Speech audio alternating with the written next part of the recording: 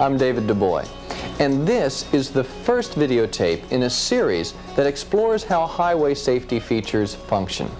Highway safety is one of the primary responsibilities of the highway community.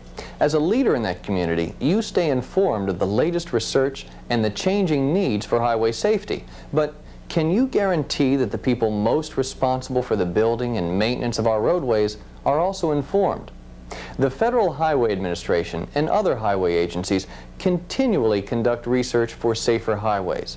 The research findings are used to design, construct, and maintain highway safety features such as crash cushions, breakaway devices, and barriers.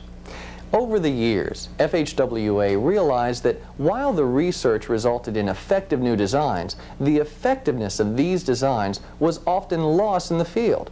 So we had safety features that worked beautifully in tests or in the plans, but not on our roadways. The problem was found in the methods of installing and maintaining the safety features. People who had never talked to the designer or who had never seen the design in action were entrusted with the care of the safety features. Well, they might have no idea how the design was intended to work or why it worked in a specific way. So the effectiveness of the safety feature might be lost, and the findings of the research not well used. To help solve this problem, this video-assisted functional requirements of highway safety features training course was developed. The goal of the course is to show those who actually select, install, maintain, and repair safety features why they work the way they do, and how the features should be dealt with. Highway people are used to making field modifications in order to accomplish their jobs efficiently and cost effectively. And some field modifications work well and don't affect the intended performance of a device. However, other modifications have harmful effects and can make the installation totally useless. When we understand how design, construction, installation, and maintenance work together and interact with field conditions, then we understand how the safety feature should work. The Functional Requirements course will assist staff in reaching that understanding by training them first to install and maintain safety features properly so they'll perform as they were designed. Then, second, to recognize hazardous situations and to recommend proper remedial action. And finally, to identify conditions in the field that could make a properly designed feature hazardous, and to take the action that will correct the problem. To show you what to expect, we're going to see some brief excerpts from the video portion of the course. Together, we'll be learning why the installation and maintenance of safety features must adhere to and even enhance the design. Sometimes when you're in the field and a barrier or other safety feature needs repair work, it seems only common sense to complete the work in the fastest and most economical way possible. Now, while this thinking probably applies to many situations in life, it isn't the best way to do the job in highway work. The clear zone is the area bordering the road, starting at the edge of the traveled way, which is available for use by errant vehicles. Now, Four factors contribute to determining the necessary width of the clear zone. One, operating speed. Two, side slope steepness. Three, horizontal curvature. And four, traffic volume. To understand the best contour for the clear zone, we'll look at this film on side slope and ditch tests.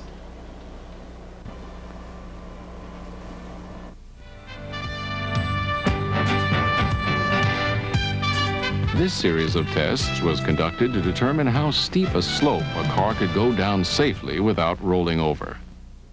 The clear zone concept is essential, and we'll discuss it again in connection with other safety features. For now, though, this is the end of our session together. I'll be back to continue our discussion of safe highways.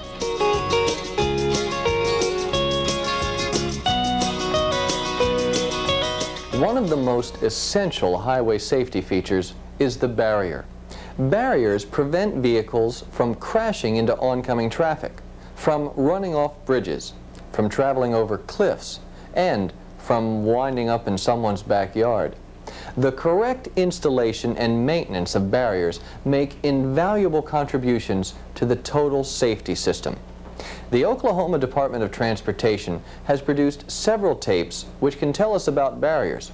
Let's take a look at the first one, and I'll be back again at its close.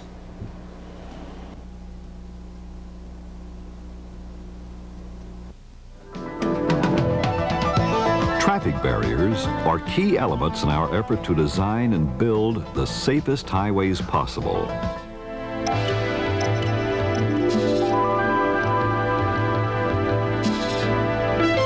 The technology of highway safety... Together, we've seen the four types of barriers. The W-beam wood and steel strong post systems, the box beam system, the concrete barrier, and the cable barrier. Our study of barriers, however, isn't quite complete. To fully understand the safety features of barriers, we need to look carefully at all three sections that comprise a barrier. This session, we've covered only standard sections. In another session, we'll study the end treatments and transitions of barriers. In all our future sessions, we'll continue to explore highway safety features and your role in guaranteeing their effectiveness.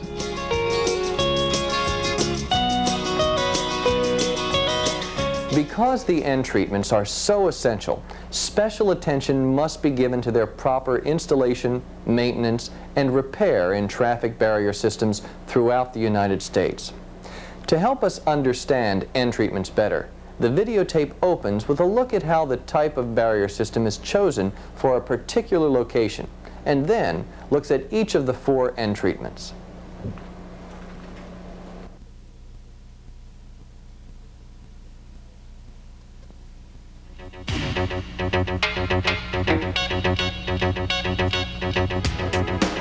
Traffic barrier safety systems, whether they be roadside barriers, median barriers, or bridge rails, all need an end treatment. It makes no difference. As you've seen, the proper functioning of end treatments contributes to the functioning of the entire barrier system. Another component of the barrier system that we haven't covered yet is the transition of roadside and median barriers to a bridge rail. So we'll understand the role of transitions, we'll look closely at connections with bridge rails, stiffened transition sections, and other transitions. And our exploration of transitions will help you be able to know why transitions are necessary, learn how transitions function, and point out the key elements of good transitions. To see how well transitions work and the reasons why they fail, we'll watch this film on bridge railing and transition crash tests.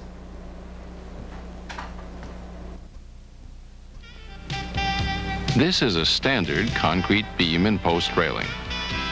Note the open joint. It allows the vehicle to snag on an undeflected post and beam end.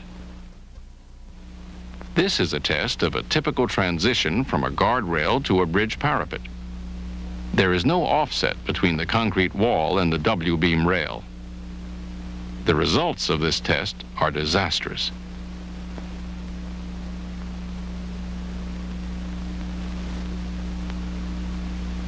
This is a retrofit of the previous design.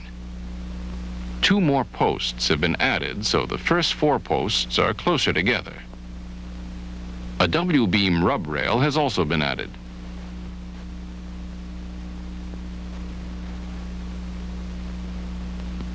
The test vehicle is successfully redirected. Throughout this session, we've talked about the importance of correct installation and maintenance of end treatments and transitions. As you've seen, the smooth functioning of these safety features as designed depends on understanding what the design is intended to do. As you saw in several of the last pictures, common sense field fixes are not usually a solution to installation and maintenance problems. Each safety feature has its own unique requirements, and in the next session, we'll learn the functional requirements of other safety features. In this session, we'll investigate highway pavement and shoulders. We'll begin our study with pavement surfaces. Through this study, you'll learn 1. the purpose and functional requirements of highway pavement surface and shoulders. 2. The elements of pavements and shoulders, as well as the characteristics that contribute to poor performance. And 3.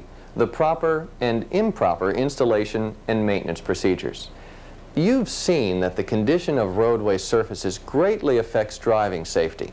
The edge of the roadway, the shoulders, are also an important part of the roadway safety system. We'll study shoulders to 1.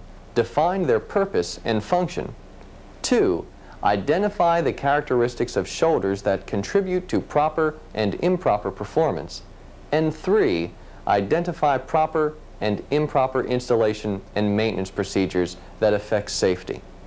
Maintenance field personnel can give the most valuable information of areas that will need future improvements. Their comments and suggestions should be sought and communicated to the proper administrative source. Develop that communication channel so improvements can be programmed into future maintenance or reconstruction projects. We'll now watch a film on wet weather accidents. Parts of the film will illustrate our discussion here today. After the film, you'll have the chance to give your comments and viewpoints about today's lesson.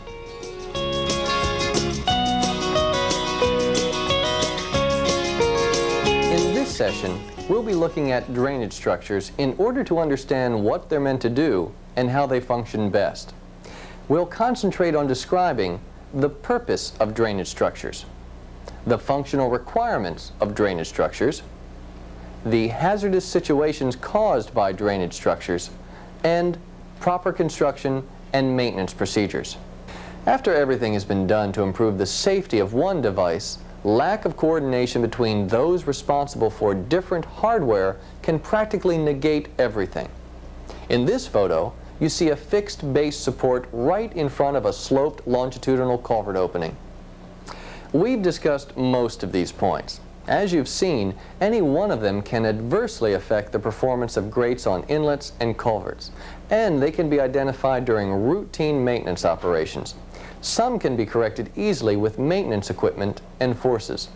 Those that require design changes or substantial reconstruction can be identified and programmed for future safety improvement projects. We've concluded the video portion of this session, and now you'll have the chance to discuss drainage structures with your instructor.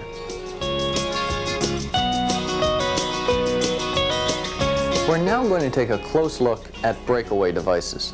During our study, we'll be emphasizing safety performance so that at the end of this session, you should be able to install and maintain breakaway devices in a manner that will ensure they perform as they were designed to. Identify hazardous installations and the correct way to remove or upgrade them.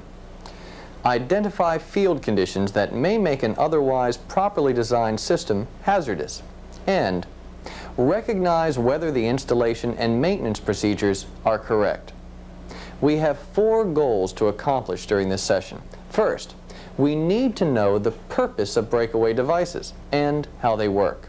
Then, we need to be able to identify safe support systems. Third, we will identify proper construction and maintenance techniques. And finally, we'll describe corrective measures for identified installation problems. We're now going to see two videos, one on small sign supports and another on large sign supports. The videos will give you information on installing, maintaining, and repairing most of the types of signs in use today.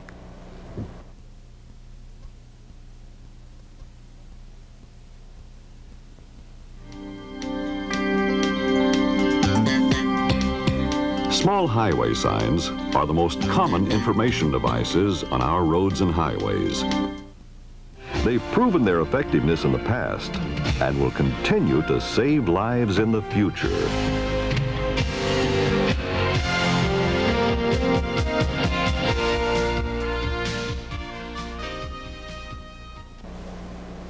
We're going to leave sign supports now and begin our discussion of a closely related subject, luminaire supports. We'll cover the purpose and function of luminaire supports, the luminaire support systems, the elements of the luminaire support systems which can contribute to improper performance, and the proper installation and maintenance procedures. The primary purpose of roadway lighting is to enhance safety by extending the driver's view of the roadway. The supports for the lighting fixtures are often a hazard, and so a safety trade-off exists. Both lighting and safety requirements need to be met. Let's end our session by looking at what problems mailbox supports can cause. After this film, you'll have time to talk with your instructor about this session. When hit, the beam can spear through the windshield, causing serious injuries. As you can see, the consequences of mailbox accidents are not insignificant. The U.S. Postal Service has design specifications for the mailbox itself, but not for the box support. Many of the designs now in existence may be hazardous to the driving public.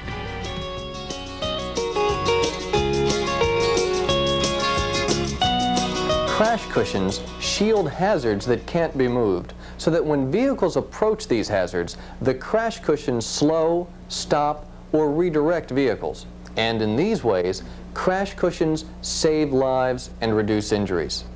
For the crash cushions to work, they must be installed and maintained according to their intended design. Different types of crash cushions are important to our study, and each of them is erected and maintained differently. The videos you're about to see will explain these different crash cushions and what you must do to ensure their effectiveness. First, we'll look at sand-filled barrels, probably the most familiar to motorists. The sand-filled barrel is actually a series of crash cushions that rely on inertia. This video will show you how complex the simple barrel really is.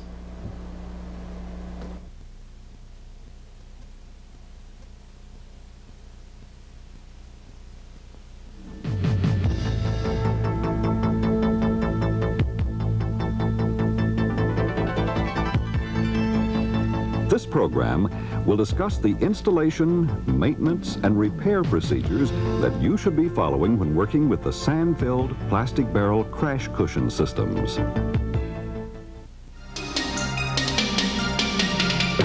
One of the most effective crash cushions in use throughout the United States today is the guardrail energy absorbing terminal system, commonly referred to as the GREAT system.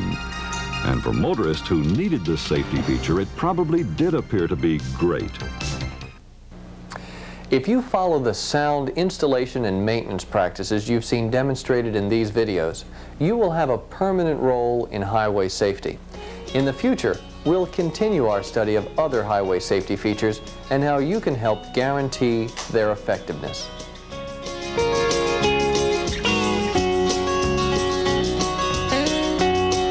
Roadside safety would be great with wide, flat areas along the sides of the roadway.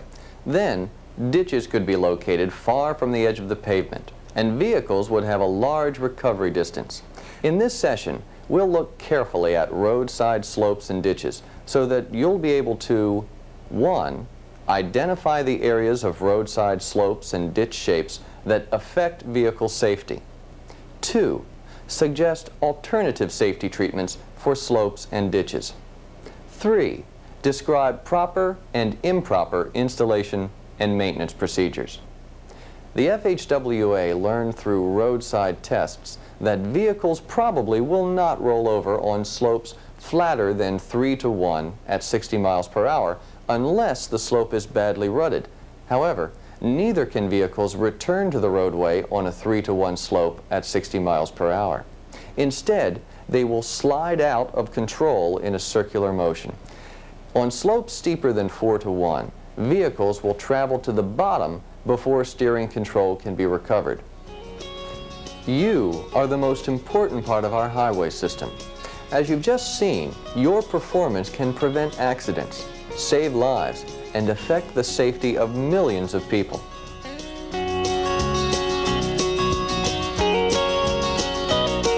Traffic control devices play an essential role in highway safety. We'll look at the basic principles of these devices in order to gain a fuller understanding. Our study includes only basic installation and maintenance procedures, not engineering requirements. We'll also study current marking and delineation devices by looking at the purpose of these devices and what affects their performance in the field. Traffic control devices must adhere to set standards so that they achieve a national uniformity. Through a national uniformity, drivers will be able to respond the same way wherever they see the devices. To achieve this uniformity, certain rules and requirements have been established at both the national and state levels. At the national level, the Manual on Uniform Traffic Control Devices is the established standard for all traffic control devices on all street and highways open to public travel. This manual is usually referred to as the MUTCD.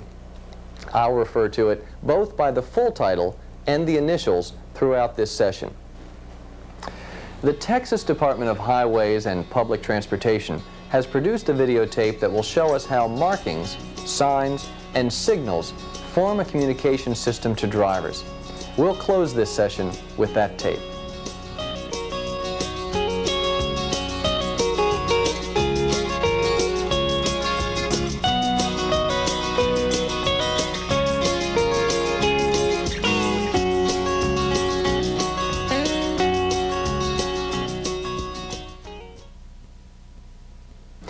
You and your agency can make use of this course very easily.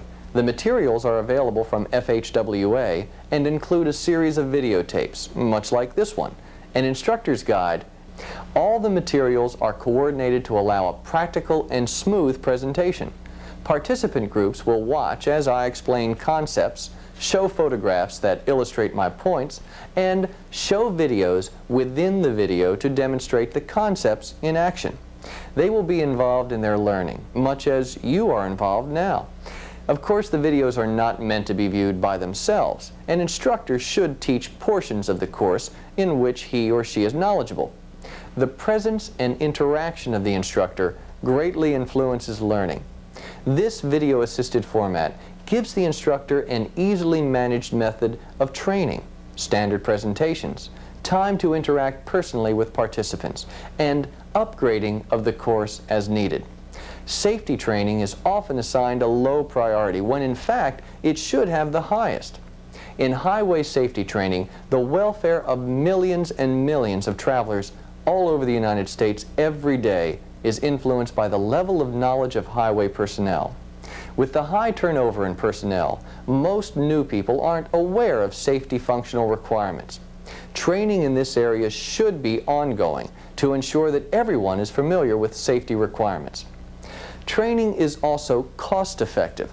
Even though time is taken away from the actual job, employees are more efficient when they are knowledgeable, and their knowledge keeps the roadways safer, lowering litigation and litigation costs. This course is available, easy to run, practical, up-to-date, and cost-effective. State and local agency, as well as university teachers, are quite capable of serving as instructors. The FHWA sincerely urges your agency to take advantage of this course and that you stimulate interest in this course among your staff.